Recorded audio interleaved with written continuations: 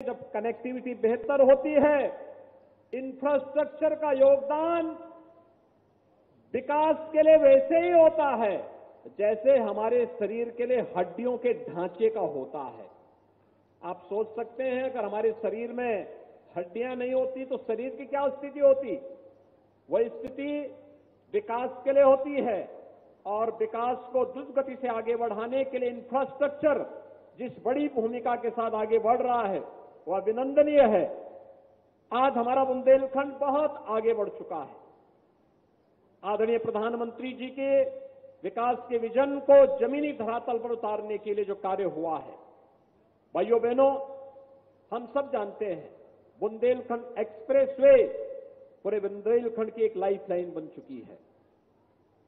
बुंदेलखंड में हर घर नल की योजना आज साकार रूप ले रही है। बुंदेलखंड में डिफेंस कॉरिडोर, एक नए सिरे से दुश्मन को दहलाने के लिए अपने आप को तैयार कर रहा है। और यही नहीं, अभी तो इस बार के उत्तर प्रदेश शासन के बजट में भी हमने बहुत कुछ दिया है। झांसी के लिए एक औद्योगिक डेवलपमेंट अथॉरिटी के निर्माण के लिए छह हज़ार करोड़ रुपए की व्यवस्था हमने केवल झांसी के लिए की है। बुंदेलखंड एक्सप्रेस हाईवे को झांसी तक ले जाने की भी तैयारी कर ली है, उसके लिए भी पैसे की व्यवस्था की है।